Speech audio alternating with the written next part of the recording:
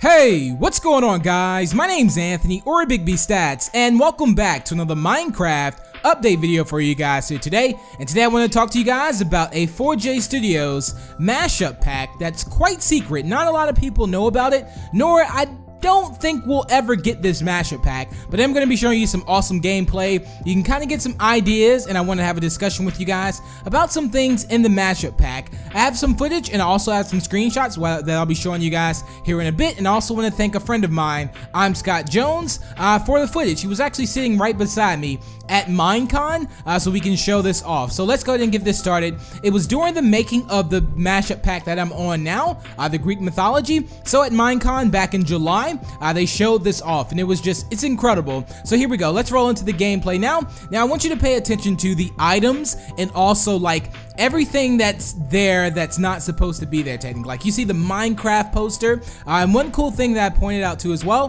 which I actually asked, was the monitor screens. They actually have computer screens, which look insane. And I thought this was really cool because what's going on now is that they're pretty much showing off the whole 4J staff.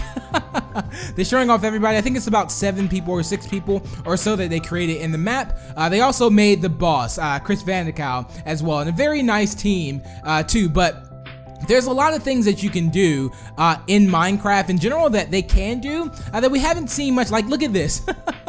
As you can see, it's like the little like hamster thing, like running there. it, it is so cool. The fact that this is an actual like thing in the game. Now, hopefully we can get something like that along those lines uh, because I think that'd just be super, super awesome if we can get this. I think this would be cool to have like a, again, a secret mashup pack, like a 4J Studio secret mashup pack. I think this would be so awesome. Uh, so you can kind of play as the 4J staff. Now, we do have technically like uh, Mojang members, but we don't have like the 4J staff. But uh, this is so cool, and again, they have the computer screens and everything. So they was touring us around the office, but like visually showing us inside the game. So again, very nice job, and uh, it was just amazing. Like I love the way they they did this. They also had the villagers texture different.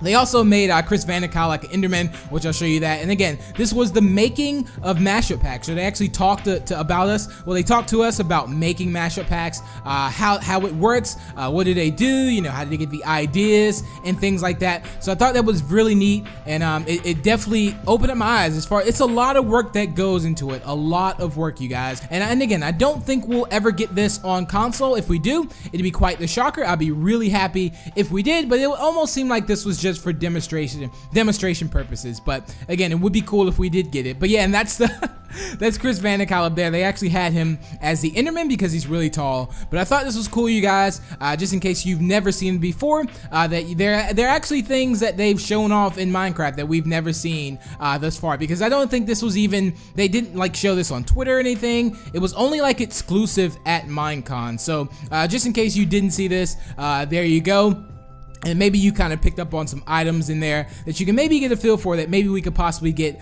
uh, in the future or something. Like it, it, was just really cool like having those like operational things. Like again the computer screen if you could just, if you saw that it was like actually like moving around. They had a minecraft poster and everything just looked amazing. But yeah that's pretty much it for today's video. I hope you guys did enjoy. Remember to drop the video like and share it as well. It is much appreciated and helps the channel out. And another big thank you to i'm scott jones as well. And feel free to subscribe if you would like to stay more Minecraft news and more. And until the next, I will talk to you guys later. Peace out.